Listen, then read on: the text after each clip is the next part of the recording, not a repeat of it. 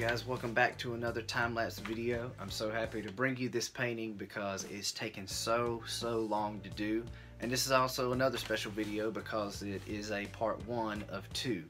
Um, I had so much footage and documentation on this painting, if I would have put it in one continuous video, it probably would have been at least 40 to 45 minutes worth of content and everything piled in there. So I was like, is just way too much and I edited it down a little bit but um, I got it to a, a, point where it's about halfway. So this first one is a halfway point uh, of what would be a full video but um, this painting's special because it's the third installment on this channel that's been a personalized piece. It's not a customer's piece or, or request or anything like that.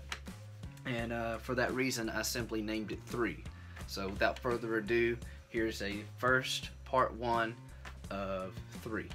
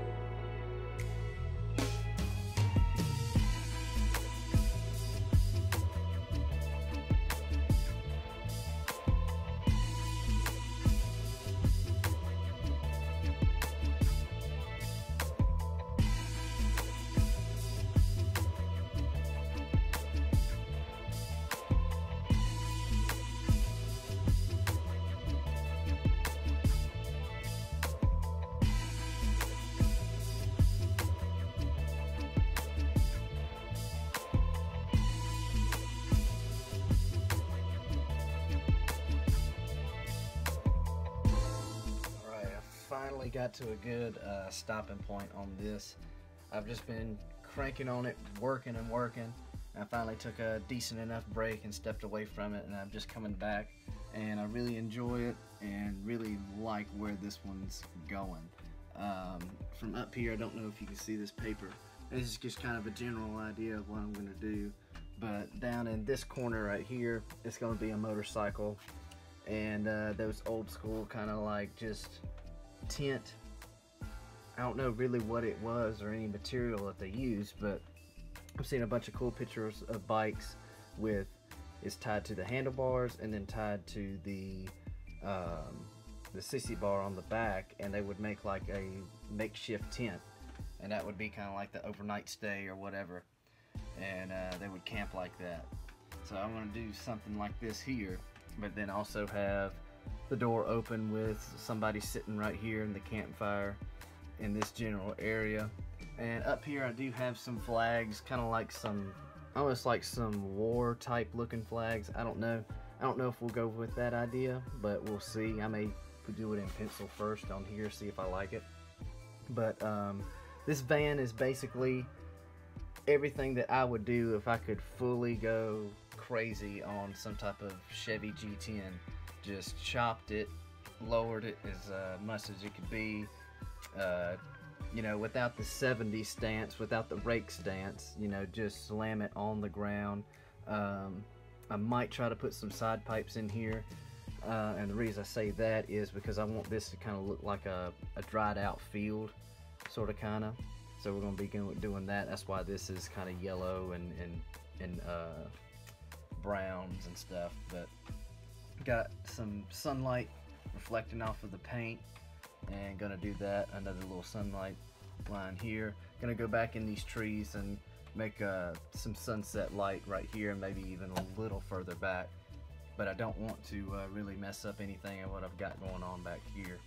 But just a sunset scene and gonna keep that in mind as I keep doing the lighting and everything. Gotta finish up this back wheel may do a little more orange on this chrome right here just to give it more of that sunset sunset effect on the back there but really liking where it's going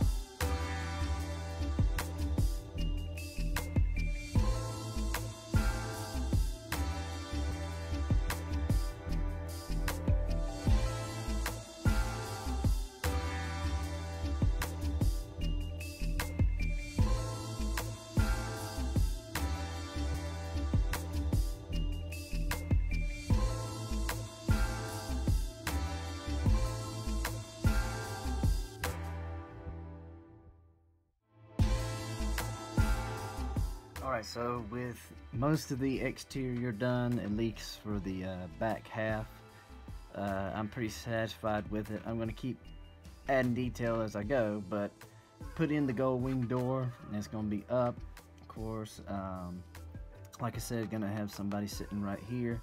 And as far as the interior, the exterior of the van, wanted it purple. Something almost so black and so dark that you only see the purple in the highlights, so that's the only places I really put purple. The rest of the van is actually flat black, but that will change when the clear coat hits it. All this will be gloss. I did put some gray on the tires, just a little bit to divide them from the shadow back here, but I doubt you'll be able to see that once we put in the tall grass and kind of some stuff around it. But focusing on the interior, I kind of want to do something that's going to pop. And being that I already have this black, uh, background to kind of work with. I'm going to try to use that to my advantage. The white here, at least, is just for to give me a layout and a kind of a blueprint where to go. Um, but I'm thinking just to make it pop and to make it have a whole lot of life inside, I want to do a really bright red.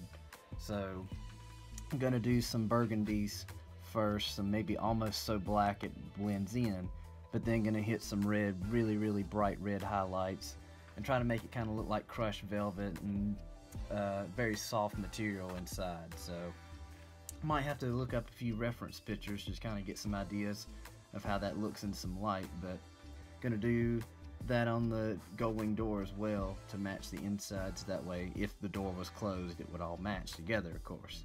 So, gonna do a really, really bright red interior just to make it. It's almost because this part of the painting is almost in the center, so I want it just your eye to be just bam. It's a lot of purple, a lot of pinks and blacks and blues, but just a bright red just to draw your eye in right dead to the center of the painting and make your eye kind of explore from there. We're going to do some bright red crushed velvet, very soft 70s stuff.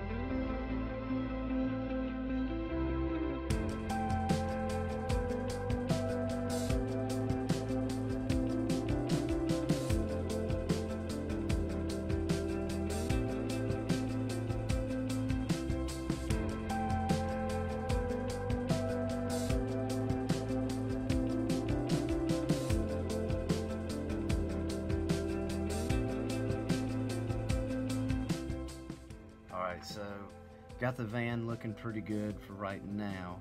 Um, there is one thing I want to do before I say I'm completely done with this and is make the paint actually look like it has metal flake and has a lot of sparkle in it.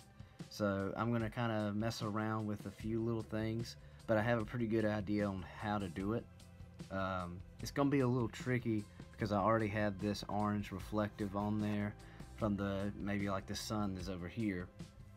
But we're gonna figure that out as we go. And uh, I'm just gonna start really fine tuning everything and making it actually look like it has metal flake in it. So but I did use the color shift paint as well with it. I don't know if I mentioned that yet but as uh, you look at the painting in different light the van I think will go from kind of like a black purple to a darker blue so we'll have some of that in there but I think just a little bit of actual metal flake in it will make it pop a little more and stand out from this background.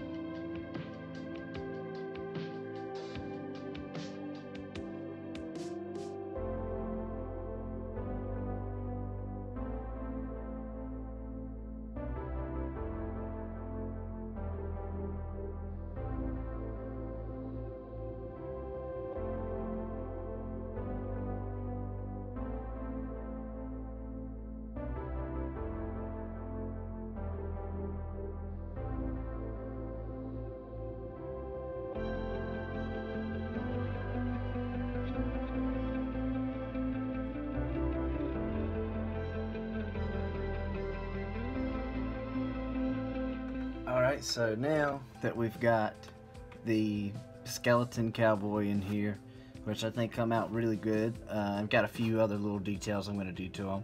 But uh, you can see where I brought his legs all the way down, maybe like a little bit of his boots there.